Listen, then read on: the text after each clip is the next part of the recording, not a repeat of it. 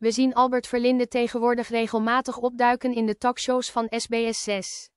Hij is niet alleen vaste gast in Vandaag een Site, maar we hebben hem ook in de Oranje Zomer voorbij zien komen. Eind mei maande hij de rijke mediafamilie Reumer om de schadevergoeding aan de slachtoffers van hun foute neefje Thijs Reumer te betalen.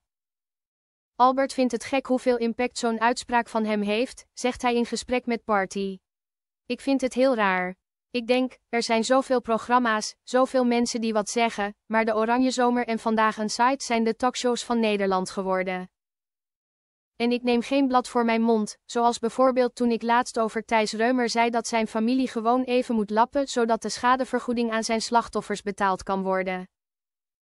Vreest Albert geen repercussies na zo'n tv-optreden?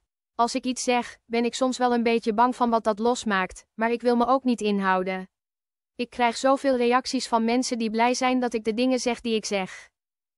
Natuurlijk zijn er ook mensen die niet blij zijn met mijn uitspraken, maar ik heb liever dat er wat gebeurt dan dat je denkt: go, ik heb een uur aan tafel gezeten en dat was hem dan. Wat doet Albert als hij niet aan het werk is? Ik kan er ontzettend van genieten om een dagje thuis te zijn. Gisteren bijvoorbeeld was ik in Kromfort en dan ben ik heerlijk de hond aan het uitlaten, de was draaien, koken en joggen, een rondje even hollen.